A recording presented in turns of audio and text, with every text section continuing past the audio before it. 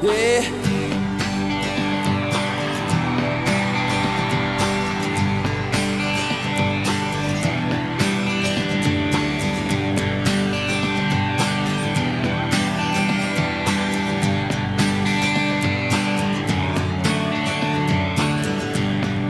Vivemos esperando dias melhores